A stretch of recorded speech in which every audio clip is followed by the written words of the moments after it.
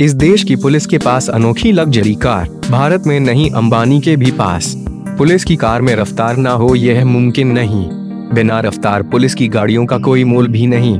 भारत में जहाँ पुलिस वालों को अपाचे, पल्सर जैसी बाइक और इनोवा जैसी कारें दी जाती हैं, वहीं कुछ जगह पुलिस वालों के पास लेम्बोर्गिनी और फरारी जैसी सुप्रकार होती है। हालाँकि भारत में पहले के मुकाबले पुलिस की सवारी काफ़ी बेहतर हुई है, लेकिन कुछ देशों में पुलिस की ऐसी सवारी है। जो भारत देश में अंबानी की है।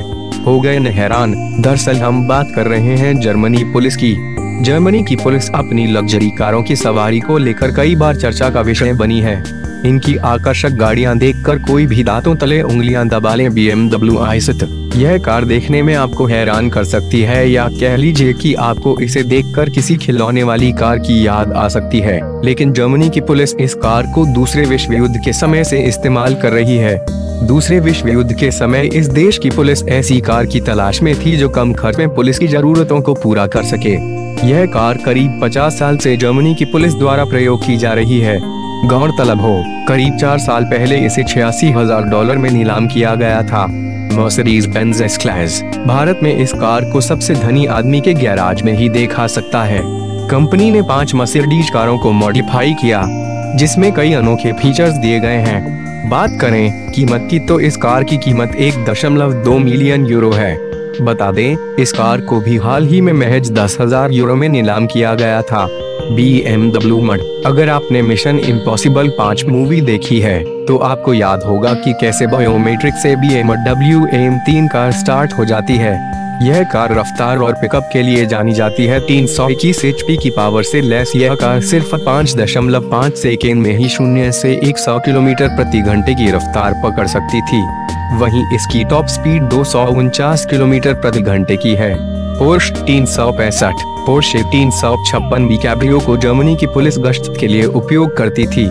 इस कार को भी 50 साल पहले पुलिस को सौंपा गया, जो जर्मनी पुलिस के साथ कुछ सालों तक रही। हालाँकि, इस कार को अब बेल्जियम में प्राइवेट कार कलेक्शन में रखा गया है। यह एक इलेक्ट्रिक कार है जो तीन साल पहले ही जर्मन पुलिस के काफिले में शामिल हुई है। इस कार की खासियत है कि इसके इस्तेमाल से प्रदूषण नहीं होता है। वहीं इसका इंजन इतना साइलेंट है कि इसके आने की किसी को भनक तक नहीं लगती। यह एक चार्ज पर 118 मील तक का ही सफ़र करती है। Mercedes Benz C L S V बारह। इस कार का स्पीड के मामले में कोई तोड़ नहीं है। इसका दमदार इंजन सात सौ तीस एच पी का आई आउटपुट जनरेट करता है। वहीं कार की टॉप स्पीड तीन सौ बासठ किलोमीटर प्रति घंटे की है। यह जर्मनी की सबसे तेज दौड़ने वाली से डान कार है।